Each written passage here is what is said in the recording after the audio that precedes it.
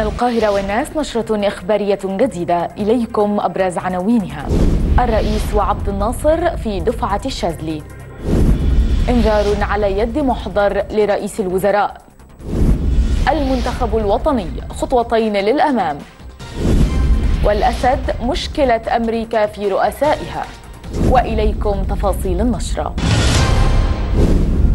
أبطال جدد. فقد شهد الرئيس عبد الفتاح السيسي حفل تخريج الدفعة السابعة والستين بحرية دفعة الفريق الشاذلي والدفعة الرابعة والأربعين دفاع جوي بمقر الكلية البحرية بالإسكندرية. قائلا إن تخرج دفعتين جديدتين يشكل انضمام جيل جديد إلى القوات المسلحة ليساهموا بفاعلية في الذود عن الوطن بعد أن تم إعدادهم علميا وعسكريا وفقا لأحدث المناهج في إطار إعداد الكوادر من ضباط المستقبل القادرين على العمل بكفاءة واقتدار لتأمين مسرح العمليات البحري والجوي في مصر.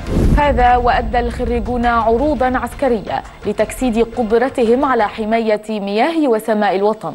كما شاركت حاملة المروحيات جمال عبد الناصر من طراز المسترال في حفل تخرج طلبة الكلية البحرية.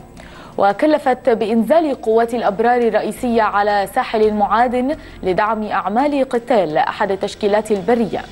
واستعرضت عناصر الضفادع البشرية عملية إسقاط من المروحيات لتنفيذ دعم أعمال القتال والدفاع عن سواحل مصر. الأطباء يهددون الوزراء. فقد أرسلت النقابة العامة للأطباء إنذارا رسميا على يد محضر لكل من رئيس الوزراء شريف إسماعيل ووزير الصحة الدكتور أحمد عماد. طالبت فيه بتنفيذ حكم بدل العدوى خلال ثمانية أيام من تاريخ استلام الإنذار. وإلا ستقوم النقابة برفع جنحة مباشرة استنادا إلى حكم المادة 123 من قانون العقوبات.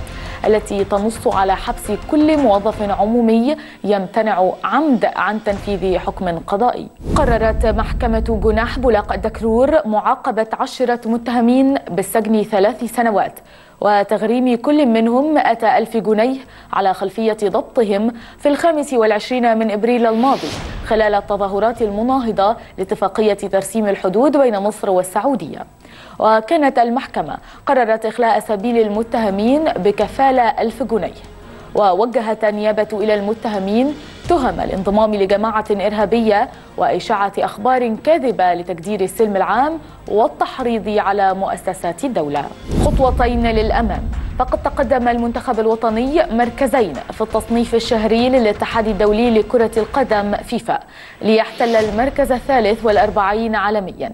كما تقدم المنتخب البرتغالي بطل كأس الأمم الأوروبية يورو 2016 مركزين ليحتل المركز السادس متفوقا على منتخب فرنسا صاحب المركز السابع. رؤساء أمريكا يفتقدون الخبرة.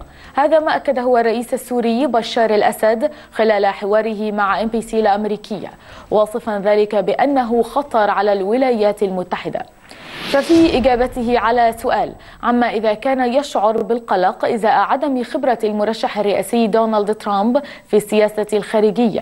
أجاب ومن كان لديه الخبرة من الرؤساء الأمريكيين أوباما وجورج بوش وبيل كلينتون لم يكن لديهم خبرة وهذه هي مشكلة الولايات المتحدة.